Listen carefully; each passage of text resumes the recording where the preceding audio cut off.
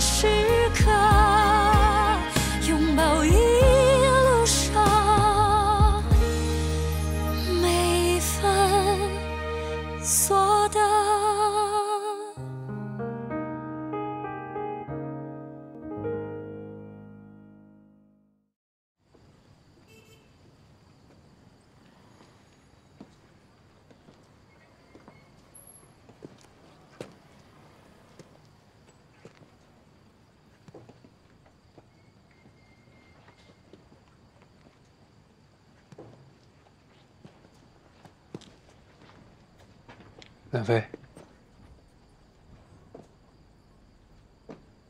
有事吗？你和焦月的事儿，我知道了，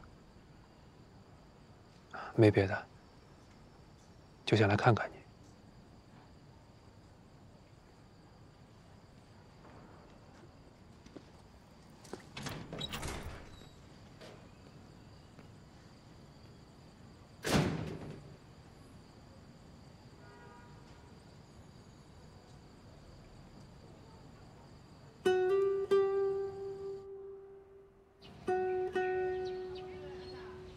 这个项目讲什么我都要接，老彭讲了不算，我们部门会自负盈亏的。你对这项目怎么这么有执念？不是你帮我做的职业规划，要我另辟蹊径的嘛，哦，就批出这么一个不挣钱的蹊径是吧？所以你要想办法让我赚钱啊！我欠你的吗？不是讲好了吗？要帮我拿到出国培训的资格呀！哎，我发现我还真的是虎落平阳被你欺呀！啊，想想在美国的时候，三千万美金的项目，我觉得太小，不愿意做。现在是三万块钱项目，你让我在里面抠出利润来啊？哎呦，人家一个女孩子对吧，就是一个普通的上班族，三万块钱就是她全部的身家。看到她，我就想到以前的我自己，所以呢，我就不收她设计费了，只要不要让老吴跟公司赔钱就好了。做慈善，我也没有那么好心，但是就像你讲的嘛，我不能所有的项目都想着要赚钱，对吧？是，现在一百多平米、三五十万预算的项目很容易就可以找到，但是这种小户型啊，最考验设计师。我想要挑战一下自己，看看那么小的房子还能够翻出什么花样来。哼，四十五平米三万块钱，你想翻出什么花样？其实啊，老房子啊，它的结构跟材质是很有韵味的，所以我不会大面积的去改它的硬装，我会从软装下手，搭配合适的家具，再入手几款亮色的单品，这样就可以提亮整个空间，还有一种冲突的美感。材料全部网购，这样就可以节省成本，效果我觉得应该会还蛮不错的。工期呢？工期差不多十五天，你觉得哪部分是最花钱的？工人工期，房子虽小，但工序是一样的。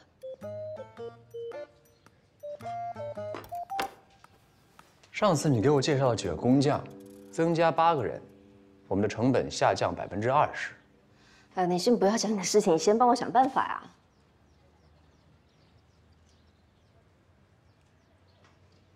哦，你的意思是再多找几个同样的客户？一间公寓肯定是不赚钱，没有什么利润的，但是十间公寓就不一样了，是吗？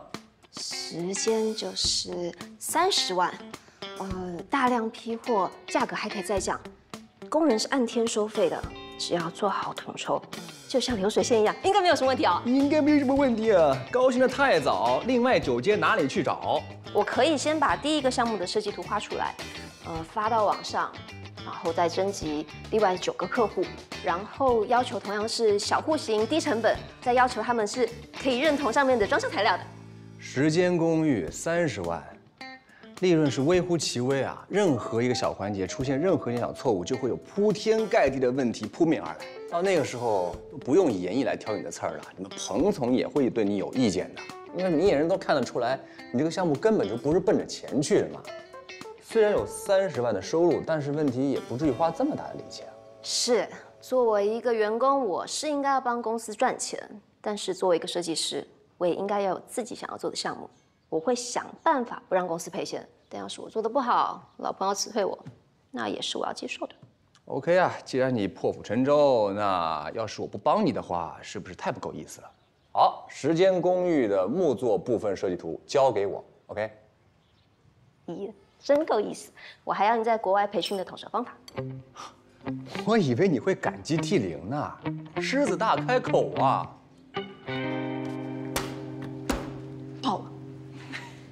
一共有一百多个客户应征，不过有些不是上海的。太好了，啊，有没有符合我们条件的呀？这些贴了便签纸的都是我们已经挑选过的，一共有十五个，对吧？好，啊，你们先把这十五个看一下，距离近、人比较好沟通的就先选。呃，齐经理方便吗？有些事情想沟通一下。什么事情啊？呃，是这样的，不可驯服这个家具，我有几个客户想要预定，有联系方式吗？他们的独家代理权在我这里，你跟我谈吧。嗯，什么条件？如果是你的话，原价基础上加百分之三十。有没有搞错？我是在给生意做，我这边的客户都是优质客户，一旦他们用了，那就会帮着打开局面呀。那我把焦月的电话给你，你自己跟他谈啊。他不接电话呀。那怎么办呀？在我这边呢，就是这个条件啊。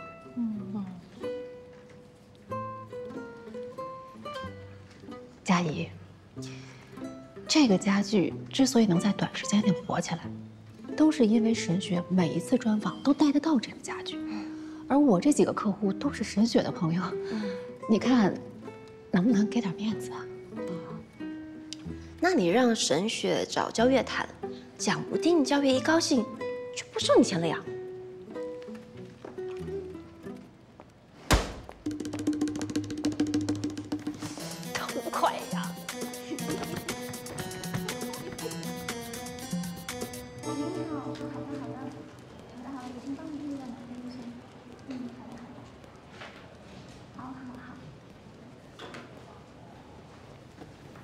医生，有你的快递。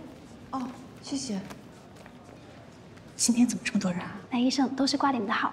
我的。嗯，售后科今天爆掉了。喂，你好，请问有预约吗？哦，好的好的，帮您预约到下午三点半，男医生。嗯嗯，好的好的。你好，有预约吗？喂，你好。哦，挂男医生的号是吧？哦，好的好的好的。哦，好的，下午四点。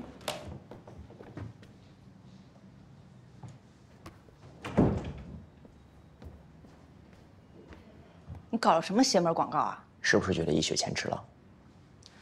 我又不是小商品批发市场，你能不能不要给我搞那些歪门邪道了？不是我弄的啊，是陈月云。他怎么了？看一下这个，别生气，消消火。我离婚以后再回过头来反思，没想到觉得会他参加了一个女性论坛，竟然能拉动我们的经济。那离婚之后，您迷茫过吗？有啊，我曾经疯狂的迷恋上整容，然后没想到就一发不可收拾，我自信全无，我连门都不敢出。您现在恢复到了一个非常好的一个状态。我想特别感谢一个人，您说，他是我的整容医生，他的名字叫南飞，他是我高中同学，南飞，谢谢你，感谢你给了我第二次生命。我相信陈月云女士这样的事情呢，并不是一个特例。但是不同的是，陈月云女士找到了一位让她闪光的朋友，一条闪光的路，恢复到了自信，甚至还拥有到了自己的事业和天地。这是采访吗？这是营销。这不是我安排的啊。你觉得我会信吗？你不觉得这个营销做的特别的巧妙吗？一个职业女性的专访过程当中，没有任何的植入，也没有提及我们医院的名称，所有来的人都是搜索你的名字来的。我们只做了一件事儿，就是在微博上把你的名字和医院多做了几个链接。你有什么权利啊？你征求过我的意见吗？这是陈月云出的主意，他的公司就是做营销的，他不希望你的技术被埋没了。但是你们这样的方式就让我很不舒服。南飞，你也是咱们医院的一份子，几个月没有盈利了，你需要有病人。而且我们没有做虚假广告、夸大什么的，只是让人知道了我们而已。我觉得你需要转换一下思路，我们跟以前不一样了，不是在公立医院等着病人上门。刚才老倪也打过电话了，他对你非常的认可，希望你成为我们的合伙人。老倪是商人，你能保证在利益的驱动下，他不会哪一天就跑偏了吗？我保证，只要有我在。信个鬼！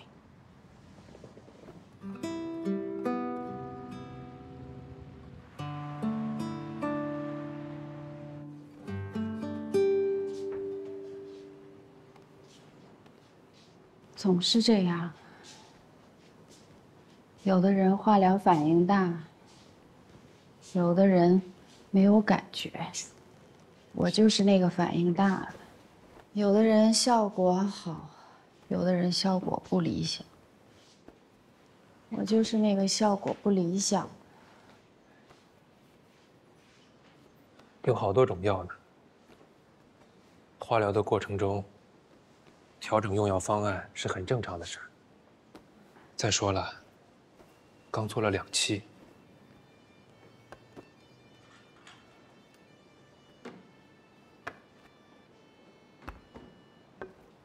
陈放，能答应我件事情吗？什么事儿？要是我状况不好，你一定得跟我说实话。我想做我自己想做的事情，我不想把最后的时间都浪费在医院里。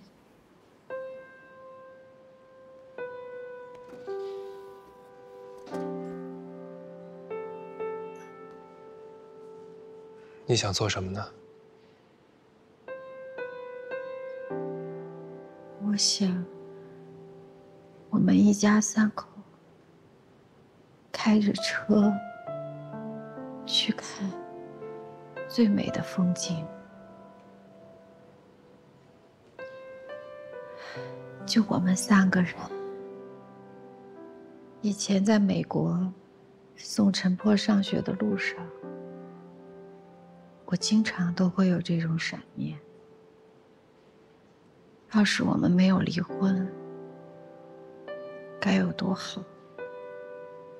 我们一家人去没有人烟的地方，在湖里游泳，看着太阳从地平线上升起来。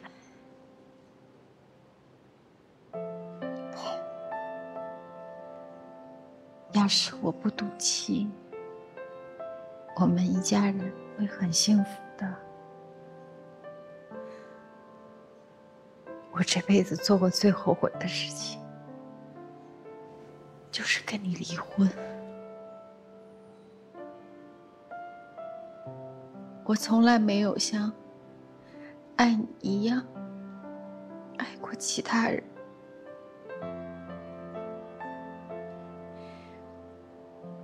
我以为你也跟我一样，不管咱们俩怎么耍狠斗勇，最后都会回到对方身边的。我们还有个那么好的儿子，我真是浪费了太多时间了。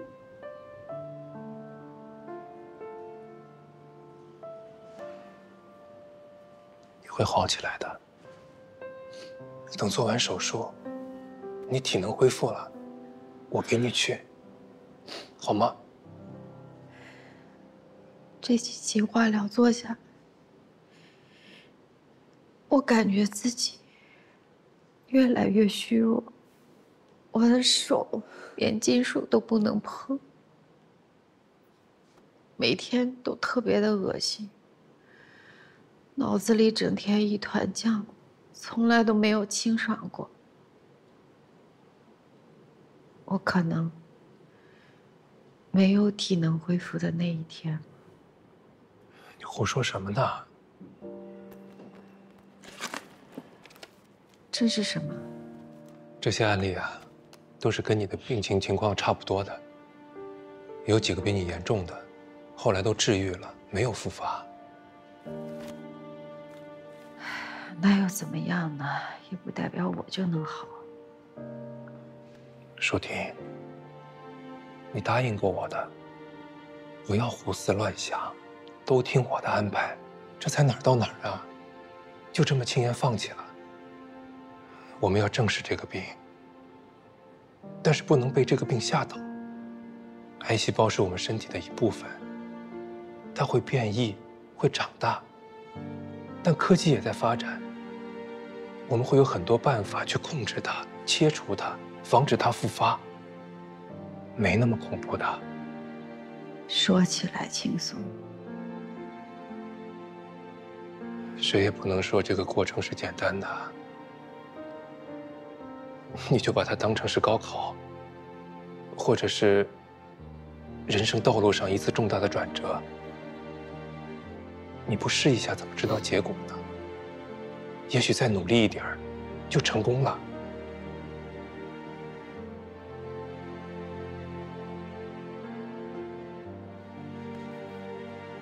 你要允许一个病人有脆弱的时候。你可以脆弱，但不能放弃。你要是想哭、想发泄都可以，我陪着你。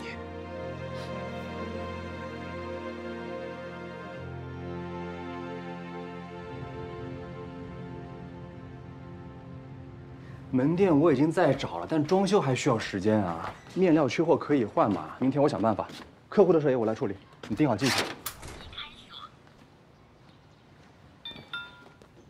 你让师傅跟小蔡研究一下，这外地货运包装问题怎么弄啊？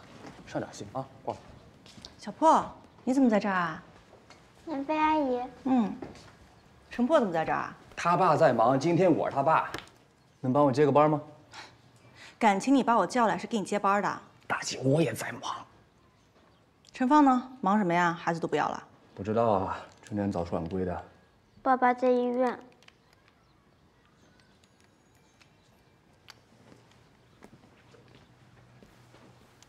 医院？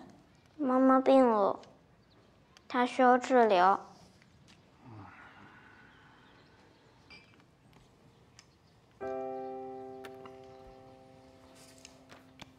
你们吃饭了吗？你要是不来呢，我准备叫外卖呢。做饭和带孩子，你选一个。做饭，做饭。那行，孩子跟我去那边，你待会儿做点面什么的送过来，你就自由了。孩子归我。好的。走吧。哎哎哎，这两天有空的话，去趟我们家呗。没有给我爸妈一个交代，他们俩已经，你懂的。好。那你晚点让陈放来我们家接孩子。OK。走吧，陈波，我们去隔壁玩。嗯嗯，来，阿姨帮你。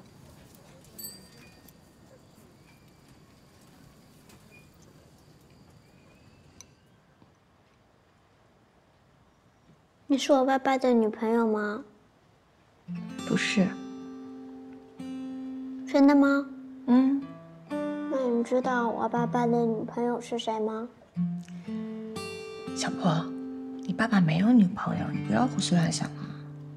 现在你妈妈生病了，你要相信，爸爸是可以照顾好妈妈的，而且他不会离开你们的。真的？当然了。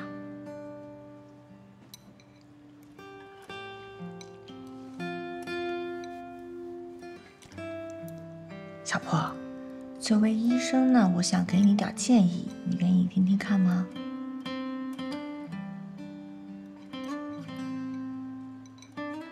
身体啊，它其实是一个非常精密的大机器，很奇妙的。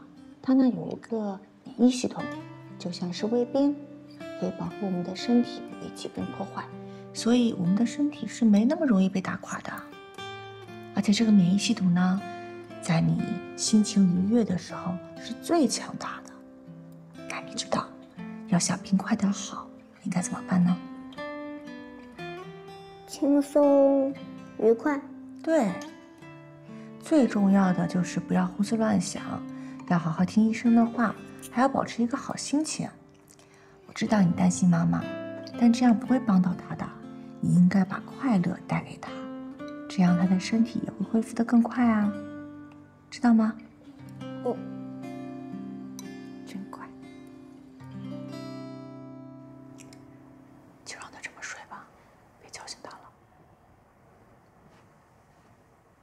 那你怎么办？这里是我家，还怕我没地方睡吗？下去吧。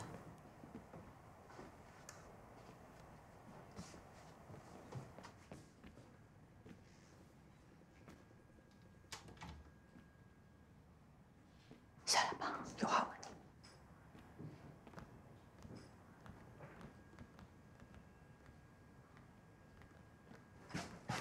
在干什么呀？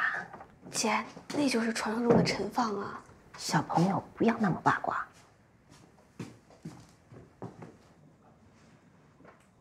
喝口水。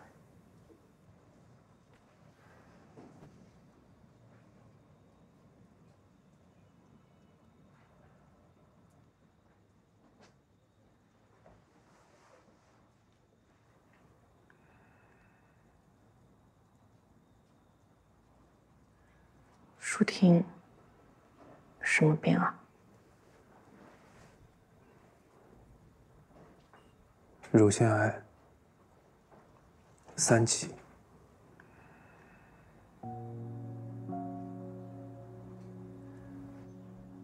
那你为什么不告诉我？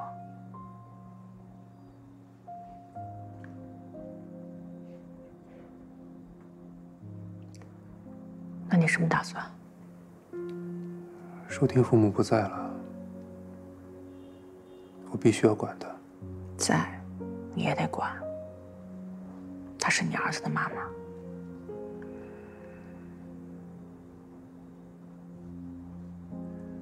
化疗之前呢，我把治疗这个病排前的医院和大夫都扫了一遍，对比着选了一家。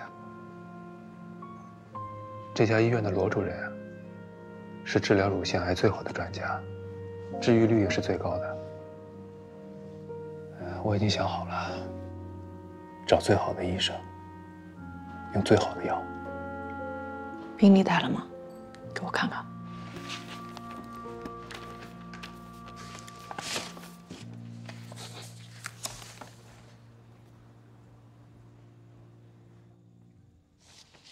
做手术，我觉得国内肯定是最好的，毕竟临床经验比较丰富。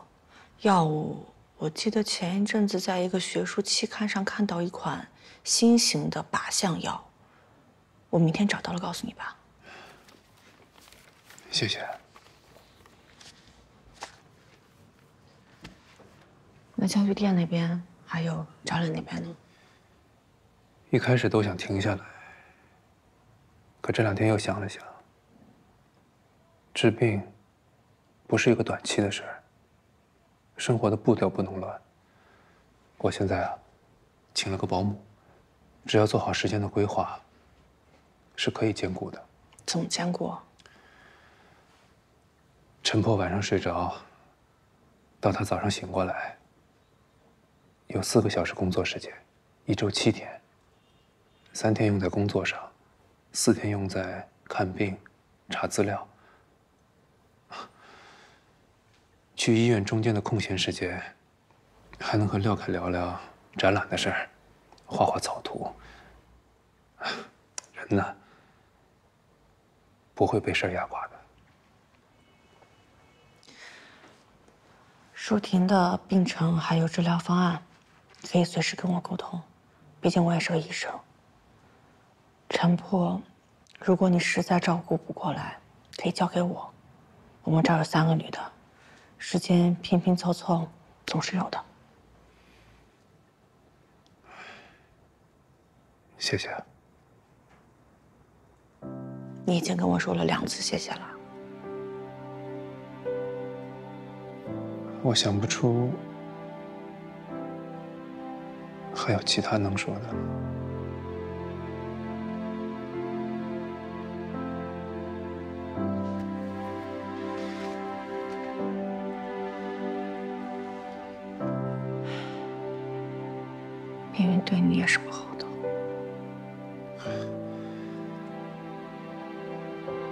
不是最点儿背的。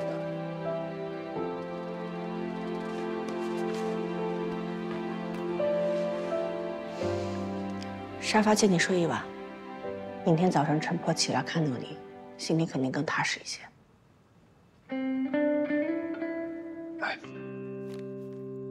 没有想到啊，舒婷这么惨啊！人生真的好难啊！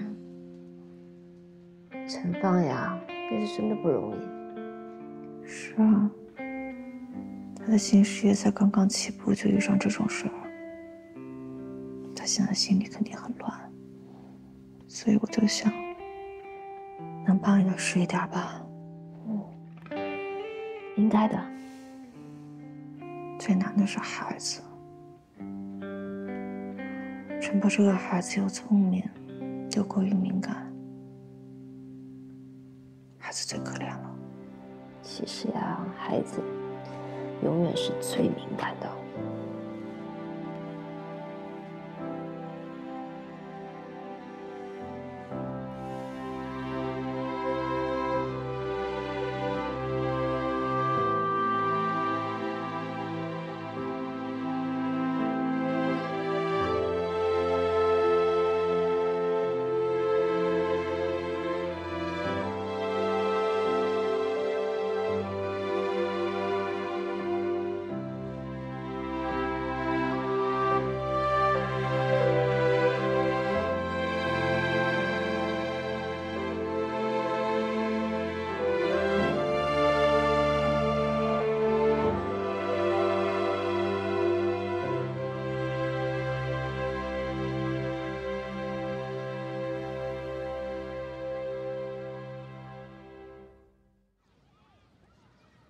叔叔，阿姨，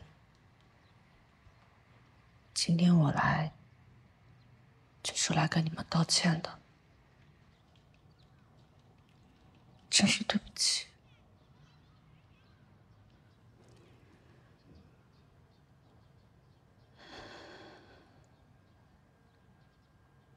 南飞啊，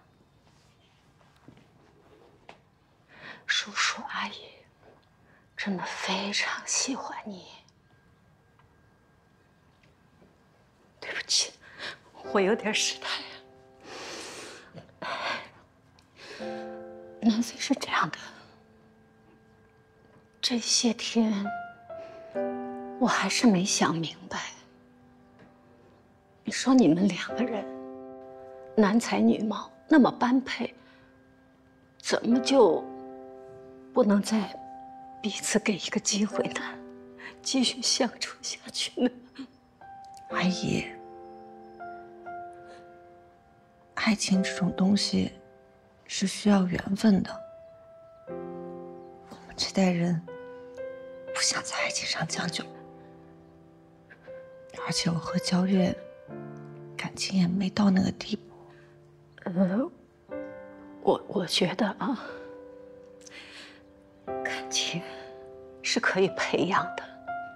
你们两个再相处一段时间，也许就会产生感情的。儿子，你说呢？阿姨，其实，其实我特别能理解您的心情，因为我爸爸妈妈也是像你们一样的。我和焦月会撒这么一个善意的谎言，我们也是不想让你们再为我们担心，再为我们焦虑。这段时间跟你们相处下来，我感觉得到，阿姨、叔叔。你们是真心喜欢我，是真的对我好，我心里真的特别的愧疚，所以我实在是演不下去了。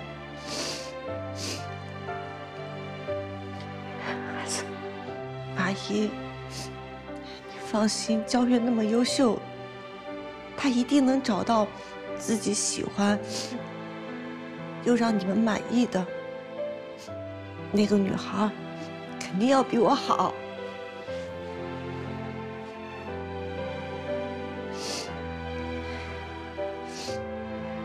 婚姻大事，还是顺其自然吧。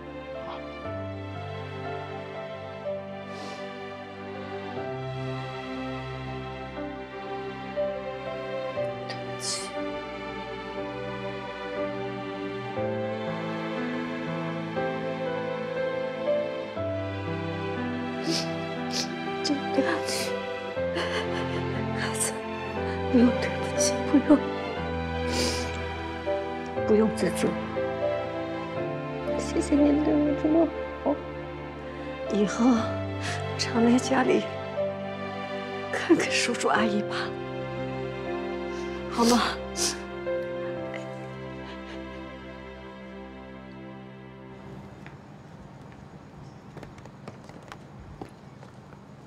经过今天晚上，估计我爸妈得更喜欢你了。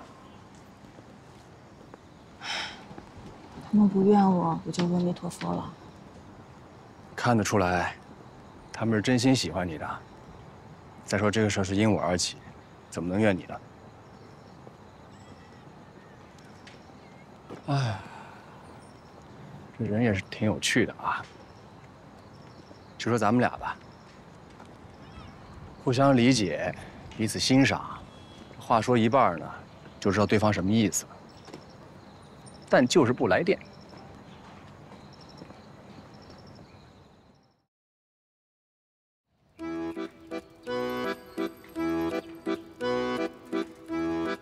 这个就是时间公寓的地理位置分布图，然后按照远近距离我给排了一个序。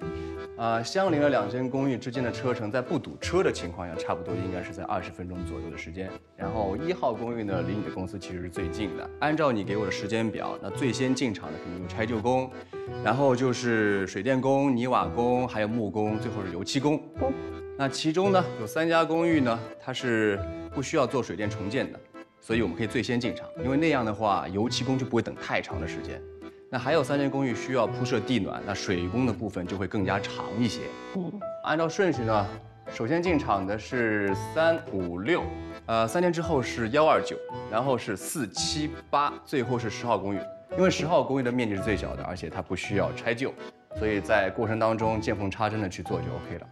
整个周期应该是在二十五天左右就可以打完战斗。然后这个你要拿着，这个是你跟客户之间要沟通关于软装部分的一些材料啊、设计方案的时间安排表。哇，我研究了好几天都没有研究清楚，你这样一讲，我全都清晰了。明天你可以把木作部分的设计图发给我，然后有些什么样的要求你都可以告诉我。差不多十天左右吧，我就可以把图纸发给你。那到那个时候呢？第一批进场的公寓还没有到木工阶段，所以我们还有调整的时间。等到正式开工之后呢，我会让师傅或者小蔡代替你跟工人进行沟通，然后监督质量。感谢大侠的救命之恩。你准备如何感谢大侠的救命之恩呢？嗯，你这样吧，我晓得我这一次的人情欠大了，我也不晓得怎么还。以身相许了。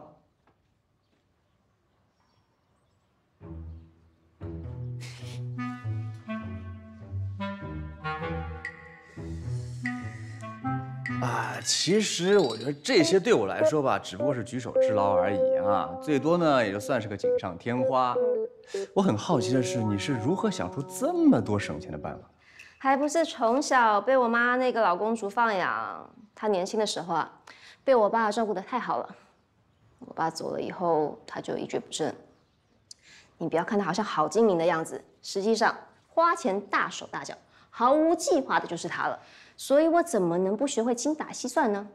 这是你们这些家庭优越的孩子不会懂的。啊其实我之前一直觉得你作为设计师好像不够肆意自我，但是今天看到你一口气敢挑战时间公寓，我对你真的是刮目相看。先别只是夸我，我帮你推掉了一个大生意。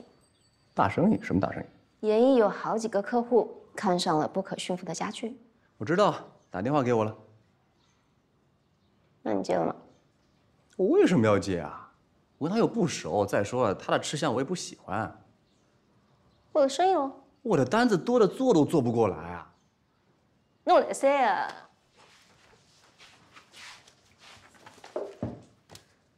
嗯，其实我觉得嘛，神学还是念旧情的。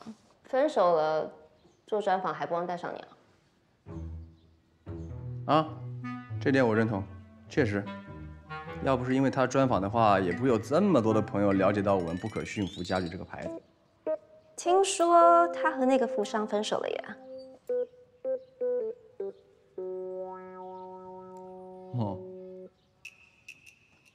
所以呢？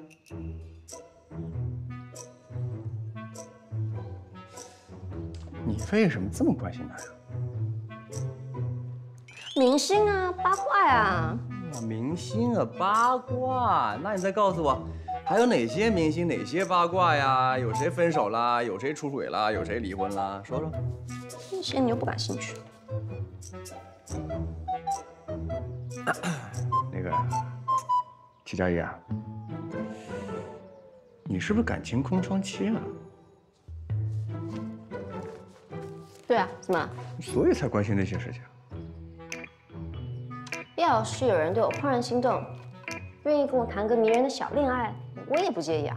你跟那小男生还没腻歪够啊？啊？现在流行是抗糖啊、断糖啊，糖吃多了对身体有害的。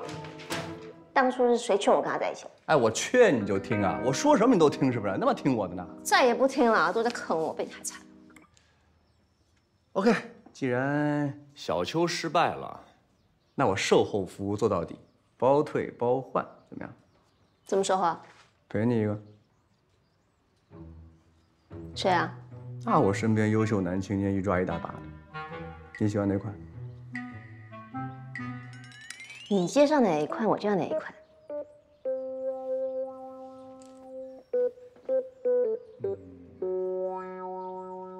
我有一个师兄。是一个特别大的公司的开发总监，然后三十五岁，倒是离过一次婚，但是没有孩子，肌肉男？要不要？人家条件那么好，为什么要看中我？你看，你看，你看，要自惭形秽了吧？像那种码农啊，特别喜欢那种爱撒娇啊、聪明伶俐啊，然后工作上特别有韧劲的女孩。好啊，你时间约好我就见。齐佳怡。你可以呀，不挑了是吧？给谁要谁啊？你介绍的嘛，我还有什么好怀疑的呢？行，还有一个国际经济法律师，三十岁，特别帅，照片看不看？你觉得好的都安排上，我有事先走。你，徐佳怡，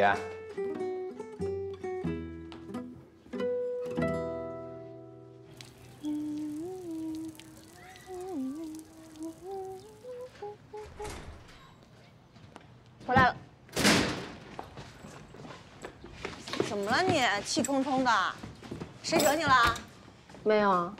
哎，你不是去找焦月学统筹了吗？学了，我困了，我要睡了。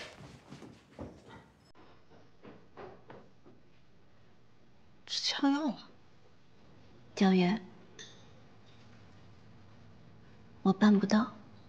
什么办不到？心里爱着一个人，却跟别人演情侣。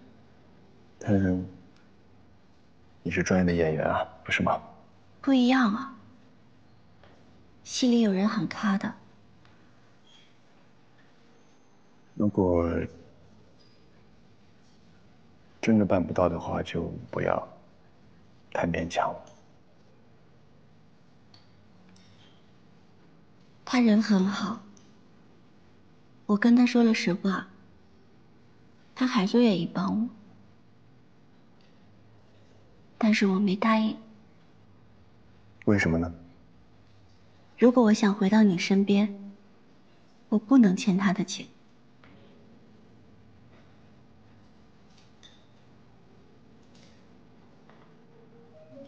深雪，我觉得你应该去山顶看看。你以前说的对，一个人要往上走，没有错的。你看你，烈焰红唇，野心勃勃，其实这一点非常吸引我，所以我觉得。你不应该因为我去改变你自己。你不想我回头？啊，其实我们两个并不在一个轨道上。就算今天复合了，早晚会有一天会分手。还是怪我当初舍弃了你。没有，没有怪你，是我承认，有段时间我很痛，但是我理解你做的选择。那就再给我一次重新选择的机会吧。